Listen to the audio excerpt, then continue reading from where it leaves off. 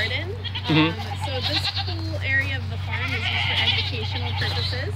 Okay. Uh, we have five goats. They're all male. They're very friendly.